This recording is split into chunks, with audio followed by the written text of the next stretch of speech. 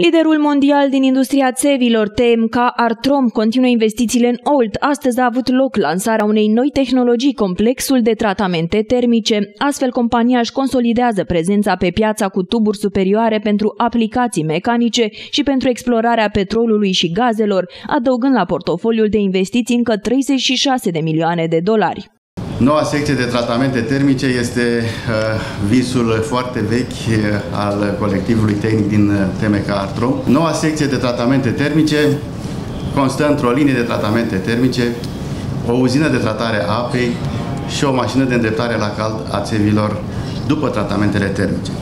Lucrările de construcție au fost demarate în iunie 2016, iar în noiembrie anul trecut am început testele la cald. TMK Artrom este un producător recunoscut pe piața țevilor cu aplicații industriale din Europa, iar datorită noului echipament, compania va crește ponderea producției premium în portofoliul de comenzi.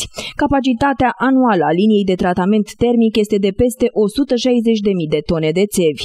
TM Cartrom a dezvoltat de-a lungul anilor ample procese investiționale care au transformat compania într-un producător de elită de țevi cu destinații industriale. Pe lângă capacitatea de muncă, în Olt investitorul rus a găsit inclusiv infrastructura necesară. Faptul că investitorul a preferat să facă această investiție deosebit de importantă la Slatina, pentru mine înseamnă credibilitatea mediului de afaceri românesc faptul că TMK a preferat Slatina să realizeze o investiție înseamnă că la Slatina sunt specialiști de mare performanță.